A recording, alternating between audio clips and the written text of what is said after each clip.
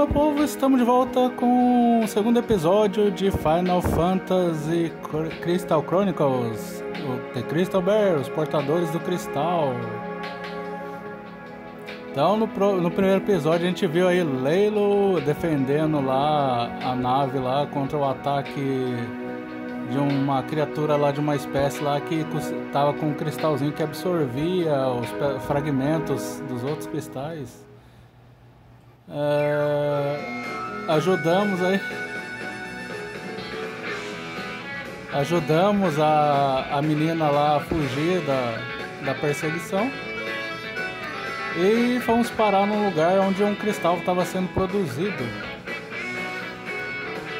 E agora é, eles se separaram. É, eu tô vendo o que, que vai acontecer.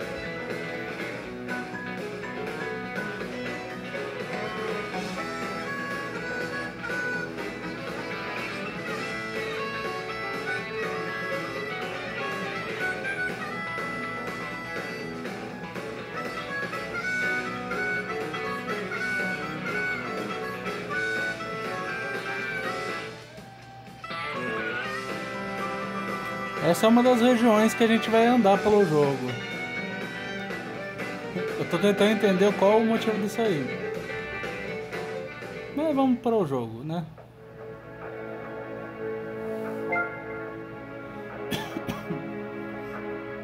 Acho que era o terceiro nosso save.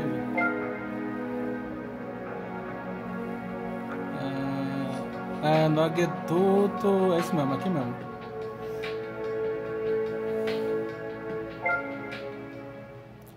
Foi onde deu. Interessante, o save automático ele conta como save. Tá aí.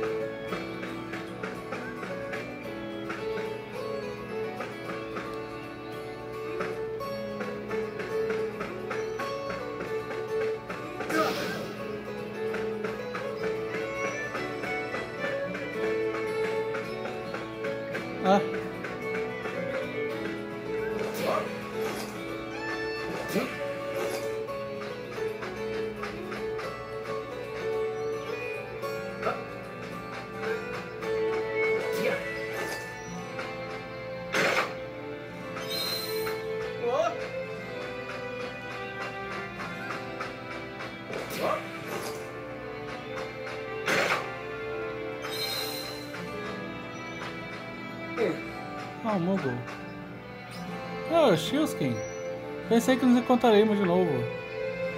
Se você está lendo, seguindo para a cidade da ponte, desça para o deserto é, oriental e siga para o norte.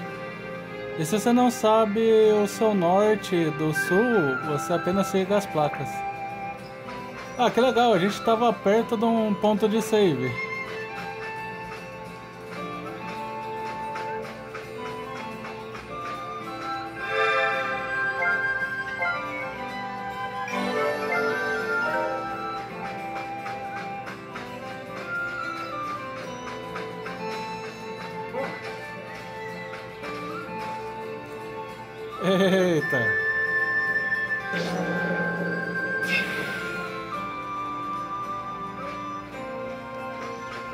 Tinha uma placa de procurado pra gente também. Tem a dela ali, mas não, a gente não pode mexer.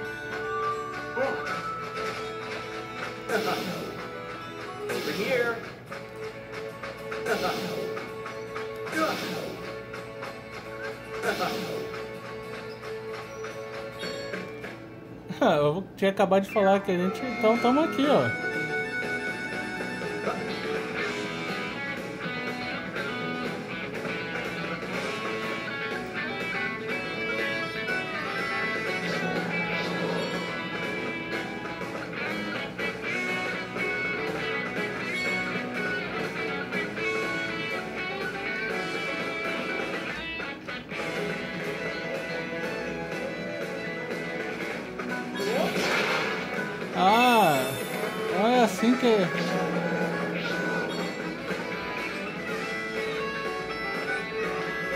Ah, eles querem que eu jogue.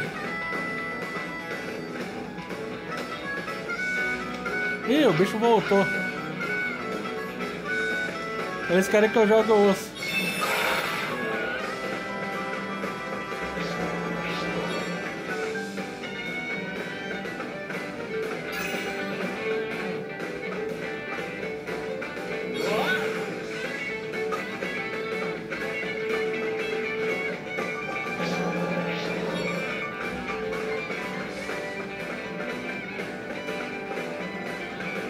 É, eu tenho que colocar o cursor na, na onde eu quero que o negócio jogue.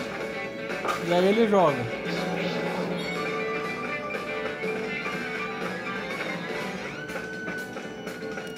Só que eu acho que é aqui no deserto que tem um bichão que eu não ouso enfrentar. E eu tô achando que ele vai ter uma batalha ali.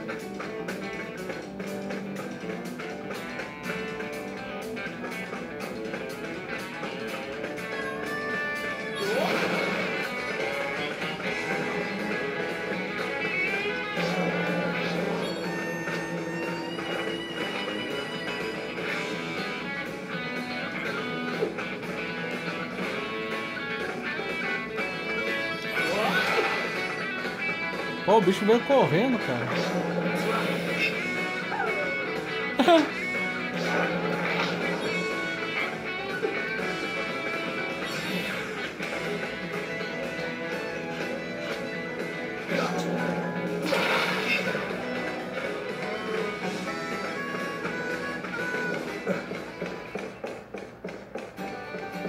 Olho da rocha.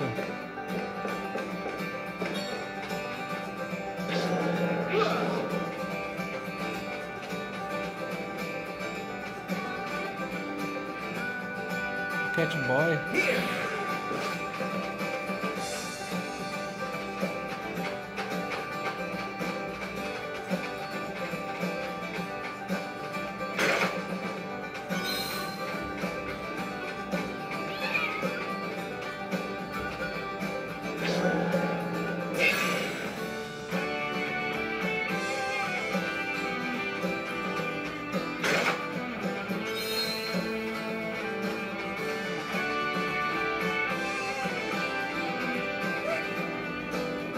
Garota Selk.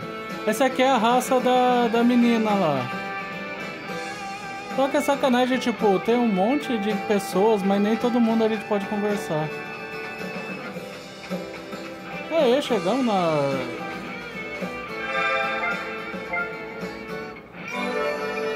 Chegamos aí na cidade da ponte.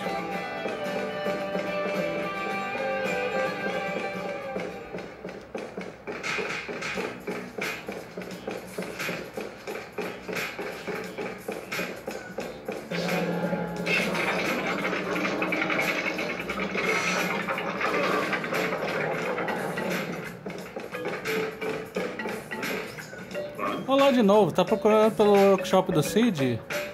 Bem, vá pro norte, no final da cidade e siga a fumaça. Valeu, assistiu, Skin.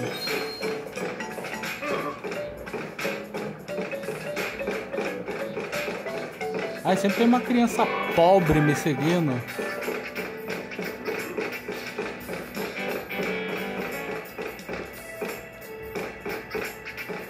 Então, aqui são lojas.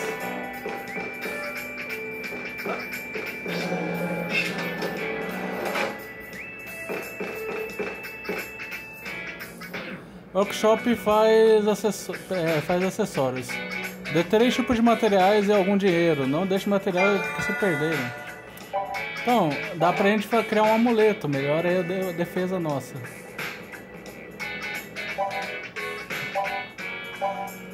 Falta item pra fazer o... Vamos fazer aí? Pelo menos dar uma...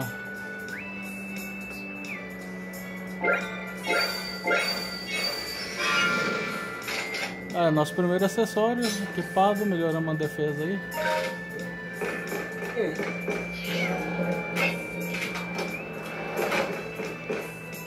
Tipo, é o mesmo Moogle trabalhando nos três negócios.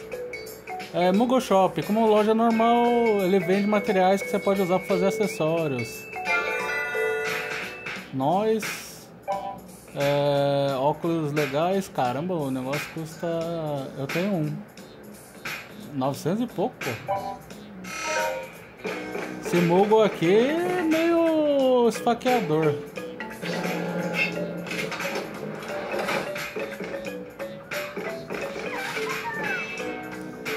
Loja de emblemas. Ele faz emblema que Leilo pode usar nas suas costas. Ah, tipo, a gente tem esse emblema aí, a gente pode fazer outros emblemas.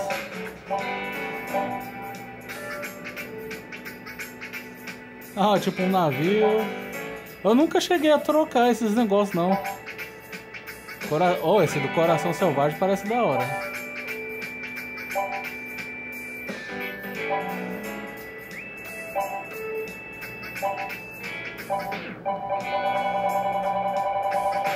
Caramba! Memórias do Cristal. Pequeno Rei. Armas de guerra. Amigo do Mogul.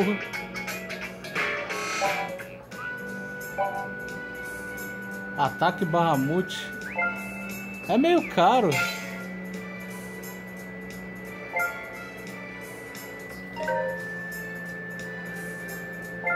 Mas eu tenho... Ah, eu preciso gastar material também pra fazer a...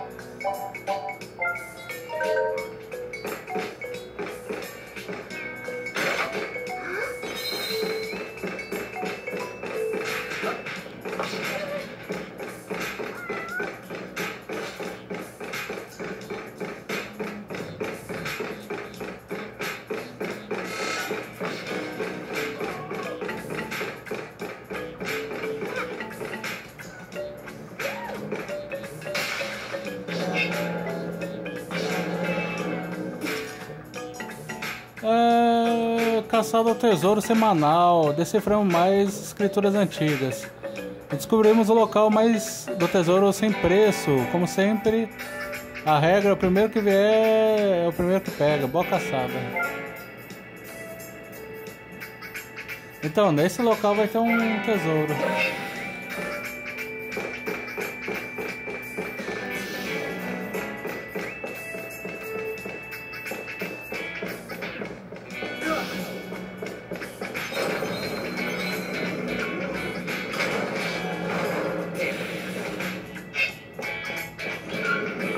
Vai, criança, sai daqui.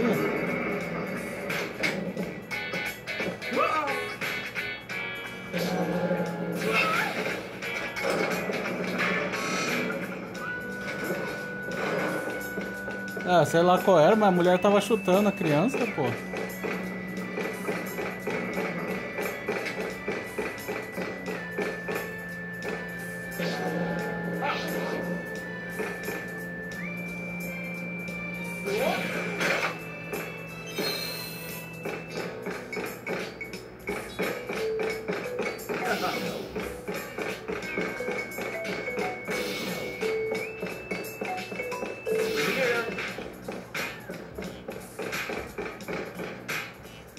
Zona do workshop do Cid.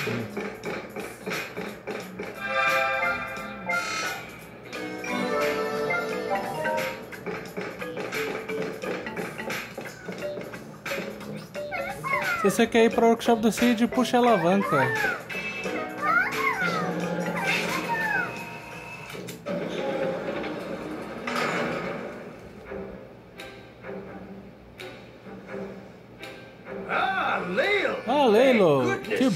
Preciso da sua... me ajude com alguma coisa. O motor de vapor está completo, precisa testar. Preciso que você use seu poder para move mover esses pistões. Tipo, o Cid parece um Goron, cara.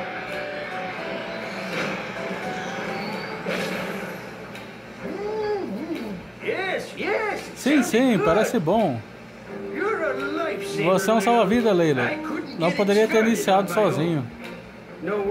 Sem preocupação, eu preciso perguntar uma Sid. coisa, Sid. Eu deveria Sid, dizer Professor of chefe engenheiro de Liut, desenvolvedor de reator de cristal. É tudo passado, eu estou aqui como só aqui da vizinhança.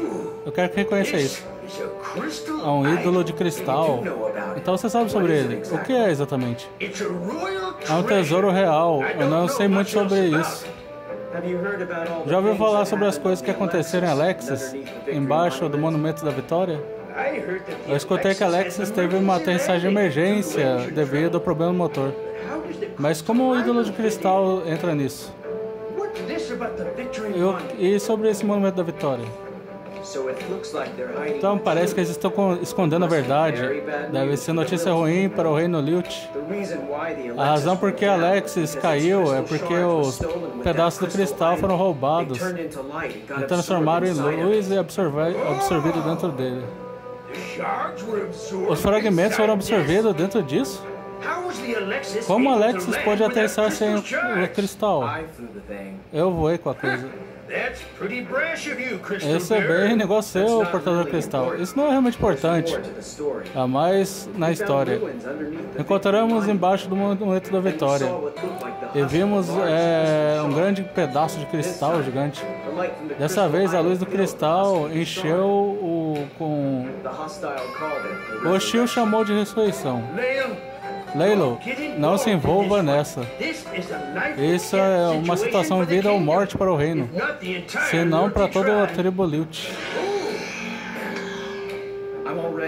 Eu já estou envolvido. Eu tenho que ver Gondoroy de de novo. Há mais dois em algum lugar, certo? Eles são tesouros reais. Serem mantidos em um lugar seguro. Seguro, hã? Como o Golden Road conseguiu um então? Eu estou apostando que você sabe onde os outros to- os dois estão, né? Leilo, o ídolo de cristal deveria ser retornado à família real. De algum jeito, eu duvido que eles vão me agradecer.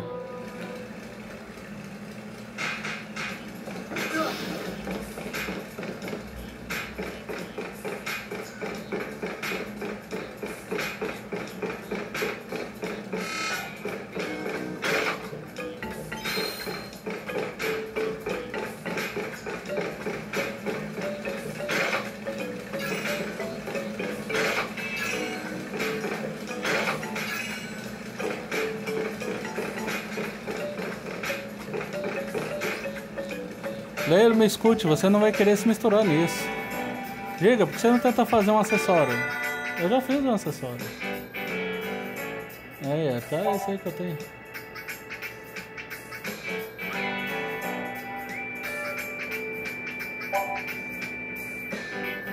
Ok, não tem os itens.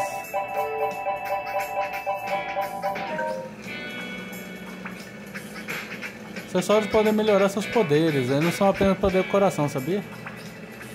Quando você colecionar alguns materiais, leve para o workshop.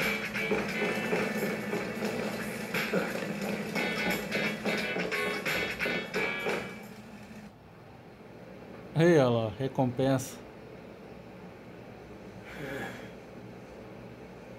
Hã.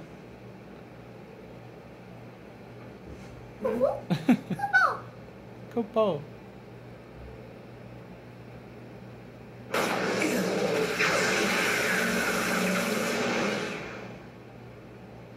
Crystal Bearer Lael. Portador Cristal Leilo, você está acusado do uso de arte arcana e roubo de tesouro nacional. Sabendo que está aí, se renda imediatamente. Então eles atiram primeiro e perguntam depois? Se eu fosse contra você, eu faria a mesma coisa.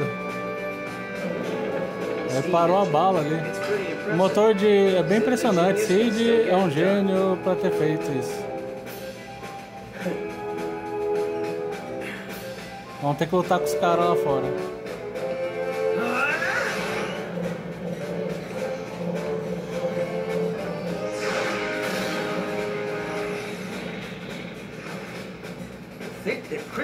Pensar que o ídolo cristal caiu na mão dele. Pode ser que os cristais realmente atraem um ao outro.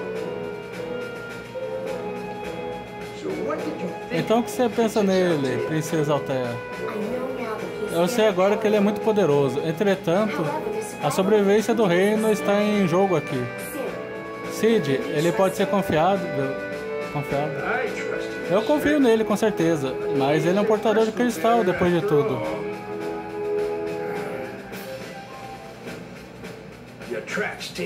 Ele atrai o perigo. Então aquela ali é a princesa. Ah, ele detonou os caras sozinho. É, temos um novo trabalho. Eu consegui um novo trabalho. Vem me encontrar em Vineyard. Para chegar a Vineyard, saia da, das terras altas de Lete via o aqueduto. Ó, e tente não atrair muita atenção dessa vez, certo? Cais. Os cupos são muito fofinhos, cara. Olha lá, ele detonou todos os caras.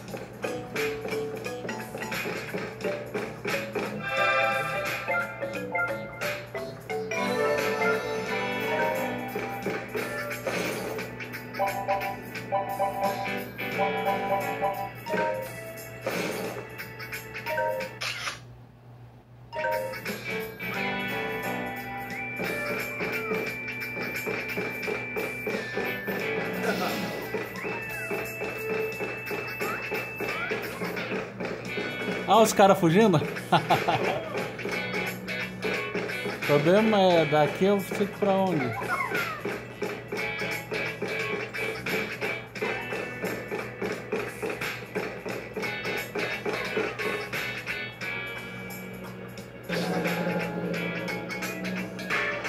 Deixa eu pra pegar o lixo.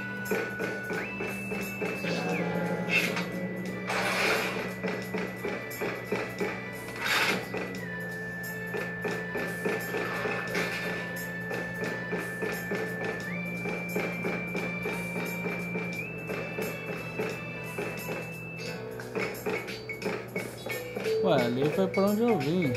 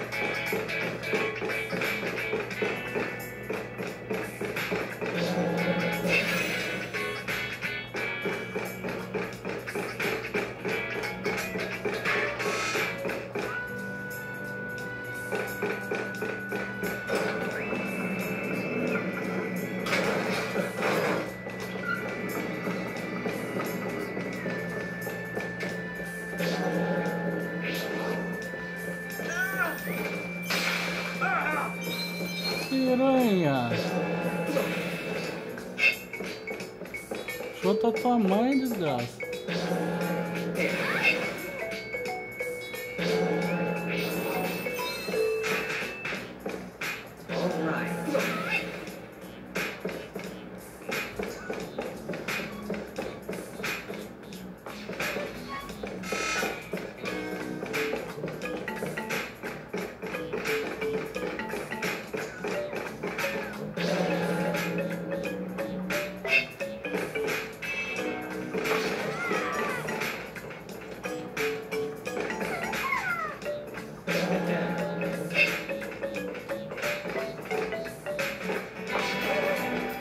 Olha o moleque botando fogo no cu ali, pô.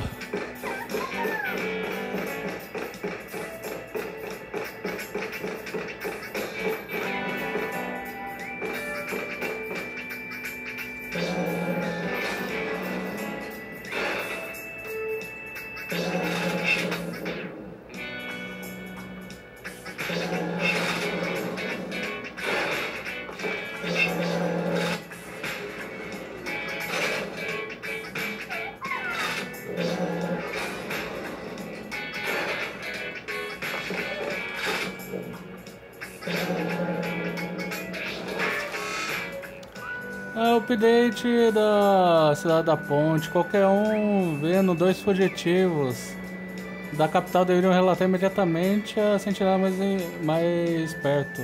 Fugitivos são uma Selk mulher e um clavate homem. Valeu aí pelo relatório, baixinho.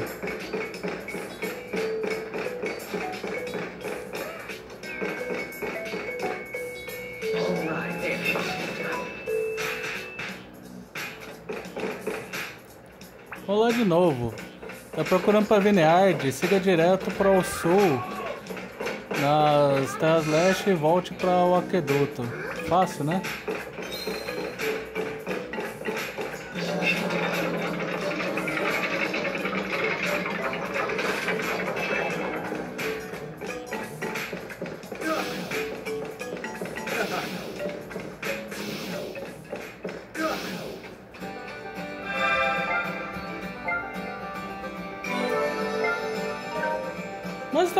Povo. Esse foi o nosso episódio de Final Fantasy Crystal Berries de hoje. Então chegamos à cidade da ponte, falamos com o Cid. O Leilo deu um pau aí nos soldados do Lilt e aquela lá que era a dona do bichinho que tava correndo lá no outro vídeo era a princesa. Ela não tá certa se pode confiar no Leilo. O Cid falou que confia nele, mas ele é um Crystal Bear e ele atrai problemas. Mas vamos ver lá o Kais e o trabalho aí no próximo episódio. Então até lá, tudo de bom e fui. O que é que tu quer, cara? O que é que tu quer?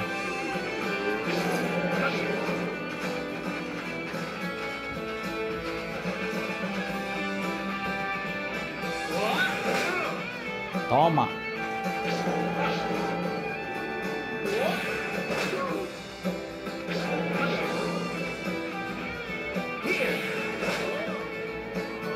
Então, pra gente é só mirar assim e aí a gente acerta o alvo.